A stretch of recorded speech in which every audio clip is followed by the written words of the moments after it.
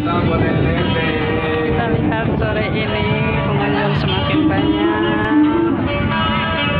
Nah, ini dia